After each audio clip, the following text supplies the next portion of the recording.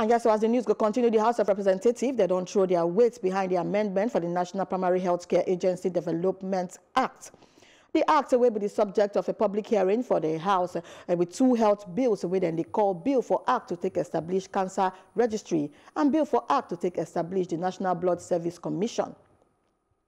And while lawmakers clap hand for the effort to take improved primary health care nationwide, as then they amend the Primary Health Act, health ministry officials themselves summer different views for the bill to establish cancer registry and say a duplicate of already existing agency.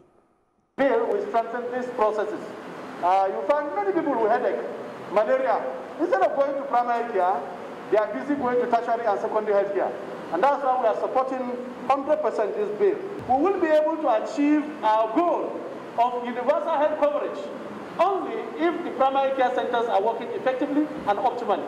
And I think that is why we are here to support. We are here also in dual capacity. One, as an organization that also uh, have membership from those that provide these critical healthcare services, the unions, which are here. But secondly, also we have membership from the informal sector that are also consumers this very important service. We have them in road transport everywhere in this country. Over 2 million members are affiliated. Uh, then the National Amalgamated Union of Cattle Dealers, Butchers, they are also affiliated. So when you look at it, it's a bill that we have dual interest. And I'm happy that the professional associations are here to look at strictly professional issues that will strengthen this bill. But on general view, I want to support these two bills, and I think I want to commend really uh, the sponsor for this bill. I think this is the way to go, and it will touch the main essence of governance. And I hope that this your intention will see the light of the day, so that all of us will be proud of having a safe blood transfusion. Indeed, so many lost their lives through unnecessary reactions. Many are incapacitated through transfusion without following the required guidelines.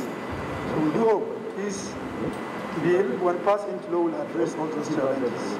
I will state right away that cancer registration is a means by which information on all cancer cases is collected, coded, classified, in order to produce statistics on the, on the occurrence of cancer in a defined population in a specific time period and to provide a framework for assessing and controlling the impact of cancer in the community.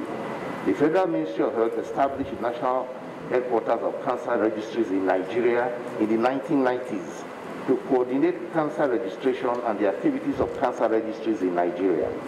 This was domiciled at that time at the Department of Surgery, University College Hospital, Ibadan, under the pioneer chairmanship of Professor uh, Solanke and the National uh, NHRCN, uh, uh, despite several challenges due to inadequate funding, recorded successes. It later uh, metamorphosed into a national system of cancer registries.